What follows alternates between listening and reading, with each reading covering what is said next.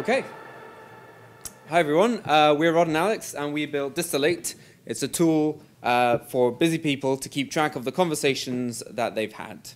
Um, so with Distillate, people can reach you on a special phone number that you register, um, and they can reach you via WebRTC.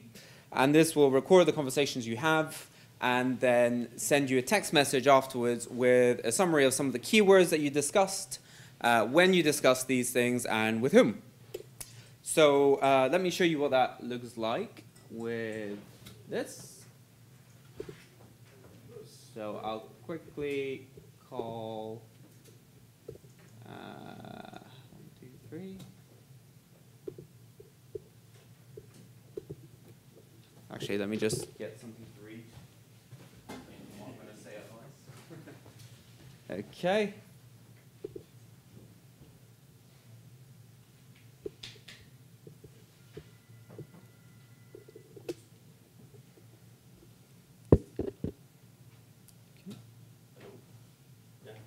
Yep, can you hear me? Yes. Okay. Um, who will you meet at the event and how will you meet them? Meet enterprises interested in real time communication. Sounds good. That'll do. Okay. So now, um, what will happen is uh, here we go. So we set up a uh, an endpoint on on Restcomm, um, which uses the uh, and uh, Dialogic um, on the server side. And what it does is that endpoint re- receives a phone call and forwards it to the intended destination. And when it does this, it saves a recording locally. And then the uh, with the Telestax API, we have it query our uh, our service Distillate with a URL for the recording.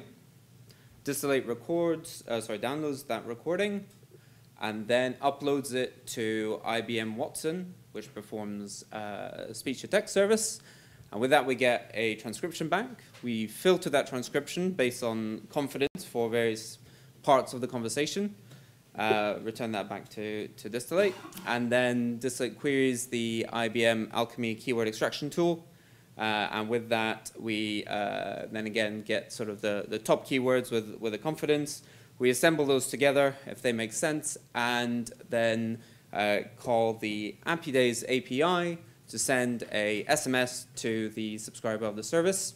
And then they should get an SMS that looks a little bit like this, uh, with a summary of uh, sort of when the conversation was and, and what some of the keywords are. So have we got a text message? Did you receive a text message? We, we don't have service down here because we're both with three, so.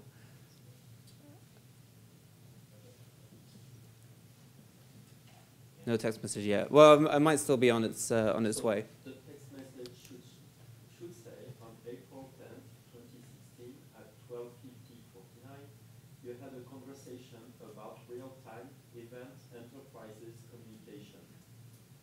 There you go. Oh, it just came through. Yeah. I didn't lie, right? That's what it says. Yeah. So it says uh, on April 10, 2016, at 12:50:49, it's on GMT. Whoops. Uh, you had a conversation about real-time event enterprises and communication. That's it.